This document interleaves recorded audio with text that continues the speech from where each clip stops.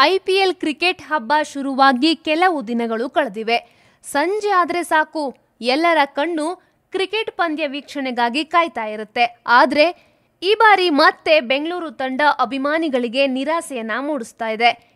ಈ ಸಲ ಕಪ್ ನಮ್ದೇ ಅಂತ ಖುಷಿಯಲ್ಲಿ ಇದ್ದ ಅಭಿಮಾನಿಗಳಿಗೆ ಏಟಿನ ಮೇಲೆ ಏಟು ಬೀಳ್ತಾ ಇದೆ. ಆರ್ ತಂಡ ಸತತ ಆರು ಪಂದ್ಯಗಳನ್ನು ಸೋತಿದೆ. ಒಂದೂ ಪಂದ್ಯವನ್ನ ಗೆಲ್ಲದ ತಂಡ ಅಭಿಮಾನಿಗಳ ಆಕ್ರೋಶಕ್ಕೆ ಕಾರಣವಾಗಿದೆ. ಈ ಬೆಳವಣಿಗೆಗಳ ಬಗ್ಗೆ ಇದೀಗ ನಿರ್ದೇಶಕ ಯೋಗರಾಜ್ ಭಟ್ ಮಾತನಾಡಿದ್ದಾರೆ. ಆರ್ಸಿಬಿ ಆಟಗಾರರ ಪರ ಮಾತನಾಡಿರುವ ಅವರು, ಆಟಗಾರರ ಬಗ್ಗೆ ಸ್ವಲ್ಪ ಪ್ರೀತಿ ಇರಲಿ ಅಂತ ಹೇಳಿದ್ದಾರೆ. ಆರ್ಸಿಬಿ ತಂಡ ಇದುವರೆಗೆ ಒಂದು ಪಂದ್ಯವನ್ನ ಗೆದ್ದಿಲ್ಲ.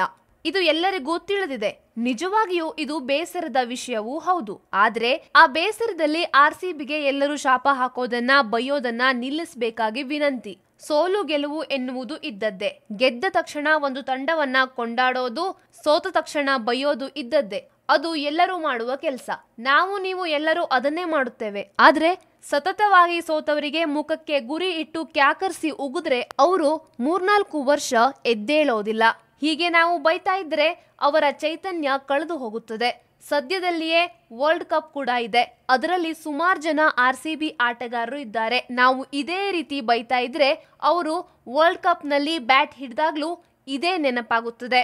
ಆಟ ಆಡುವವರಿಗೆ ಯಾವ ರೀತಿ ಸ್ಪೋರ್ಟಿವ್ನೆಸ್ ಇರುತ್ತದೆಯೋ ನೋಡುವವನಿಗೂ ಅದೇ ರೀತಿಯ ಸ್ಪೋರ್ಟಿವ್ನೆಸ್ ಇರಬೇಕು.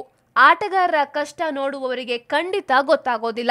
ಬೈಬೇಡಿ ಆರಾಮಾಗಿರಿ. ಆಟಗಾರರ ಮೇಲೆ, ಆಟದ ಮೇಲೆ ಸ್ವಲ್ಪ ಪ್ರೀತಿ ಇರಲಿ. ಎಲ್ಲವೂ ಸರಿ ಹೋಗುತ್ತದೆ. ಇಂತಿ ಯೋಗರಾಜ್ ಭಟ್, ನಿರ್ದೇಶಕರು.